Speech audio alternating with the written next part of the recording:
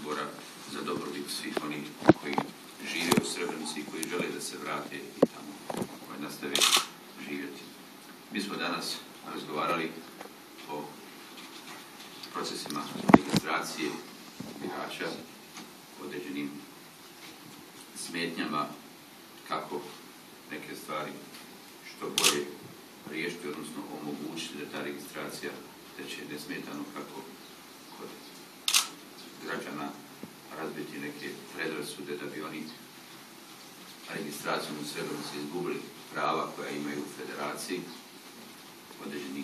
određene administrativne prepreke koje se često puta pojavljuju i koje su izvan ovih političkih političkih stavova.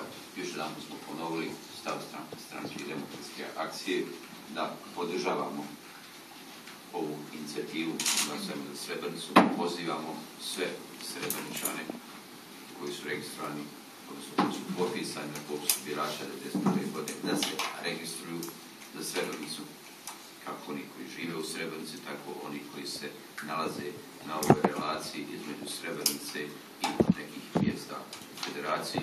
Pozivamo i druge svakako koji god koji žele da žive u Srebrnici, da se registruju i da učestvuju da učestvuju na izborima. Isto tako želim da kažem da će stranka demokratske akcije podržati zajedničkog kandidata za načelnika Šamla Durakovića. Drago nam je da su to učinile i druge stranke i očekujemo da uz